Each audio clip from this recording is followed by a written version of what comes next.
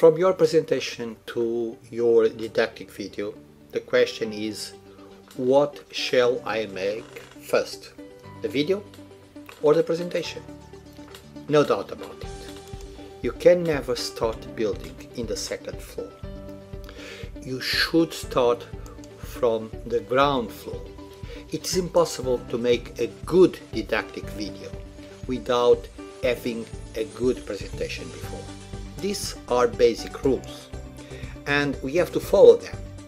And the basic skills to make your didactic video are to have a good scientific expertise, make good presentations, to have the skills to make a good narration and non-verbal communication. These are very important for the success of your presentation. During more than 20 years, only a short number of people could say that they know what a presentation was. But many people still are improving today their didactic skills on communication about making presentations. This is terrible. Let's improve it. What is really a presentation? It's a multimodal instrument complementary of your narration. Why? Because we are receiving information through different parallel channels by reading, by listening, by seeing, and this complementary information makes the ideas in your brain. That's all. And that's what we need to make. And to make a didactic video, after you define what are the objectives, you need to make your script, you need a good presentation to go after it. Trust me, start with paper, not with PowerPoint. This is a rule. A man make lots of failures. Humans have been thousands of years telling stories in the walls of the caves, in monuments, in books, and so on. But to make a real, a real storytelling today, you should make what? You should make your script and you should enhance your communication with images because everything is going to the web and you have to be available to motivate your clients, your audience. Let's see how should we make it. Never make a random or a superficial preparation. Steve Jobs delivered some of the most inspired presentations during the, second, the, the 20th century. He should be used as a reference how to make it. And to build your storytelling, you should tell and show. This is the way you should do it. Be empathic, not only sympathetic. Be more. Create emotions with your images, with your words, with your presentations, and involve your audience. These are basic rules that you have to fulfill when you want to create your didactic video. And th three important rules are text should summarize your narration and should be well structured. More. Synchronize text appearance with images, with animations, and with your narration in the slides. More. Never use large blocks of text. Never. A big text from the top to bottom, it's terrible.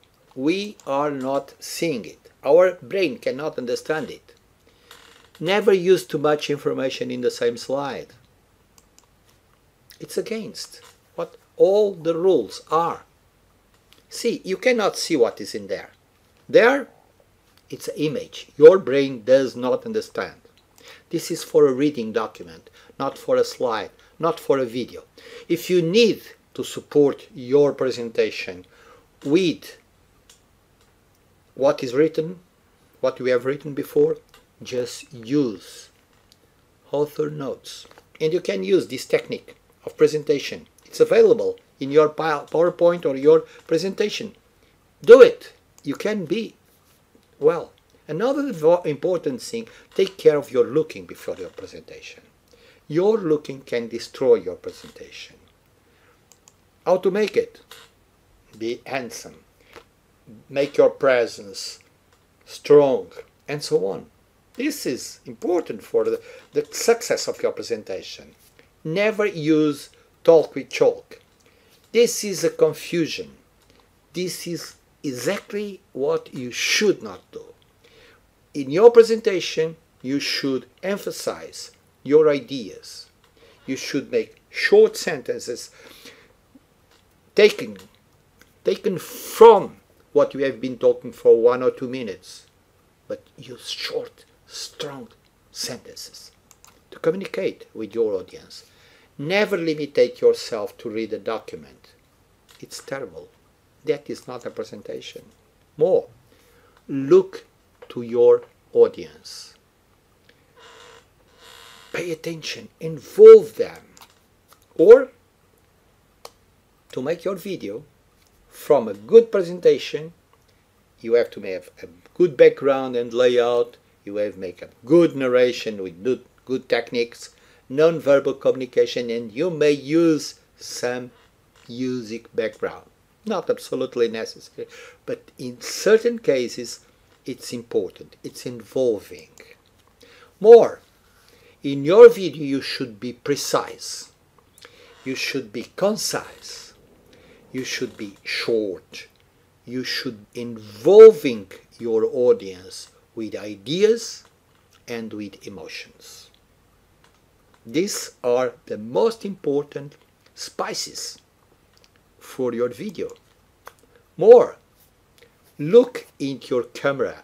Now you don't have your audience in front of you, but you have your camera with which you communicate with your audience through. So use it. Look to your camera and you are looking to your audience, but smile. Make a gorgeous smile. And this involves as well your audience. More, never use your camera against a, window. Olga helps us to show how not to do it. Thank you, Olga. And you can make contents presentation in video, but not too long. Maximum 10 to 15 minutes.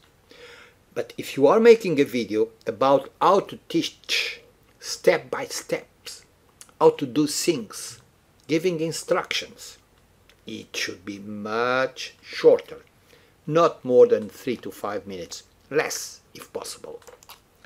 What else? Six basic communication skills. Let us see, let's look about them. Creativity, authenticity, open mind, and empathy. But you have to be clear, clearness, and make patience from your presentations.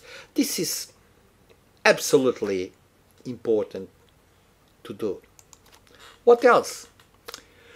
We have to say that you should pay attention because your credibility is on the table when you are making a presentation.